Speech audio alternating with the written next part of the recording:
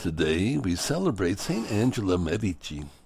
Angela Merici has the double distinction of founding the first of what are now called secular institutes and the first teaching order of women in the church.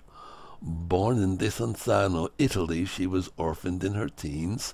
As a young woman, with her heart centered on Christ, Angela joined the Third Order of St. Francis and embraced austerity. In a visionary experience, she felt called to found a company of women. Angela was called to become a live-in companion for a widow in the nearby town of Brescia. There she became the spiritual adviser of a group of men and women with ideals of spiritual renewal and service to those in need.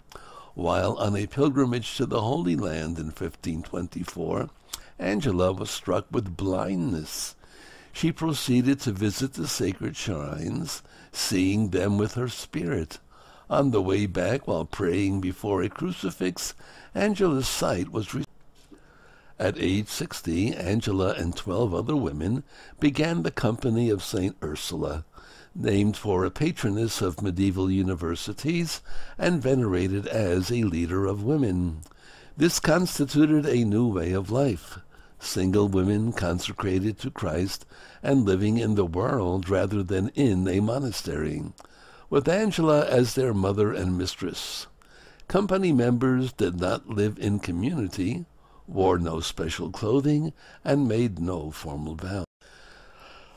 Angela Merici died in Brescia, Italy in 1540. Clothed in the habit of a Franciscan tertiary, her body was interred in Brescia's church of St. Afra.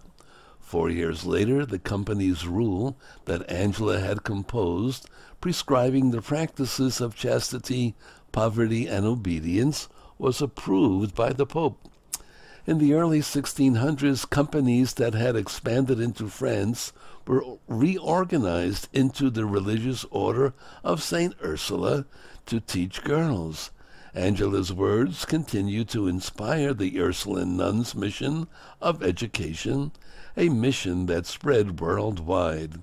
The Company of St. Ursula also continued to exist and is federated worldwide today with members in 30 countries.